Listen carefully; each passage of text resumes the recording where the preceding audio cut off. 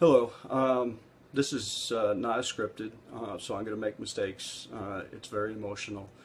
Um, we uh, we have a very beautiful African American daughter that we were very fortunate enough to adopt 11 years ago, and um, we have we've dealt with a little bit of racism, you know, stares, things like that. That um, when she calls his mom or dad, but she's never noticed. She didn't notice, and so we just blew it off because it was directed towards us.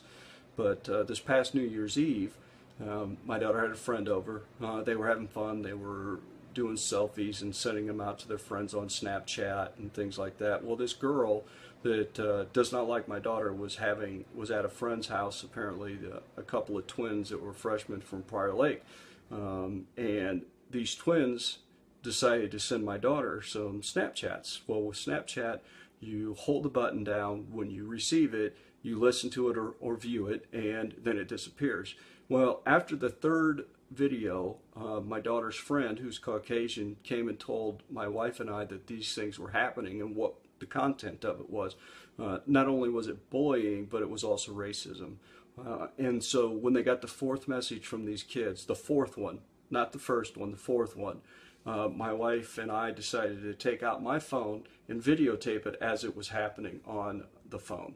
And I want to show this to you really quick.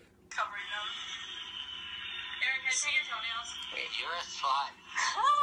You're such a slut. Nigger. Nigger.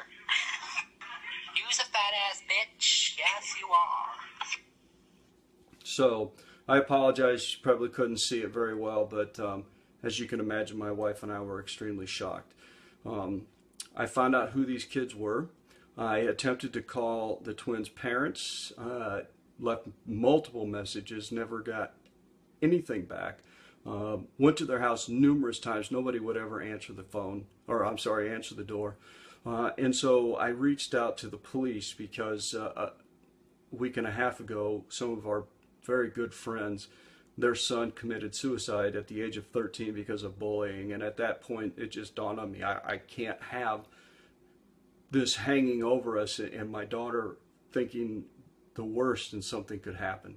Uh, so I went to the police, um, told the police what happened, gave them the video. Uh, they went to the school, talked to the police that are stationed at the school, brought the kids in, talked to the parents, um, asked if it was okay if I called the parents. I got the cell phone of the father. And um, when I got the cell phone of the father, I finally got a hold of this individual. I'm not going to call him a gentleman because he's far from it. And um, I talked to him, and uh, he told me he didn't understand what was wrong with the video because, one, their kids didn't even know my daughter. And I was like, well, that makes it even double bad. You don't even know my daughter. Uh, he told me I was crazy, that he uh, that's what, what he did when he was a kid, and that him and his family make jokes at the house using this word all the time. So, what was the big deal? Uh, said a few things to him that uh, I can't repeat over uh, this video. Um, then hung up on him because I couldn't take it anymore. And so I promptly get this email, or I'm sorry, text, or geez, sorry, I'm upset. This voicemail back from him, and this is what it said. Yeah, Brad. Times have turned, huh? I guess you're a nigger lover. So I received that voicemail. Um, doing what I'm doing now, I can't believe that there's even frickin' individuals like this alive, but there are. And um, so I called him back and I said, well, yeah, that's a correct statement. I am and, and, and love her because uh, I have a beautiful African American daughter who I love more than life itself and would do anything for her. And um, said a few more choice words to him and hung up on him again. Uh, he called back numerous times and he left one other voice message. Um, let you hear this one. Hey, Brad, you're a fag. Grow up.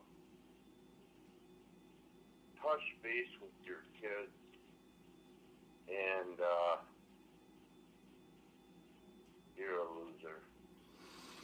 So I, I just, I, you know, and during our conversations, he said, I said, well, I'm going to post this on, on uh, social media. He goes, I don't care. I said, so you and your kids own this? Oh, yeah. yep, no problem. It's like, okay, so I'm posting and I said, I'm going to tell him your name. He goes, I don't care. Um, so his name is uh, Darren. It's either D A or D E R O N. Last name is Puro, P U R O. Um, and we live in uh, Prior Lake, Minnesota. Um, and so I just want him to own it. And his twins that go to high school as a freshman, they can own it too.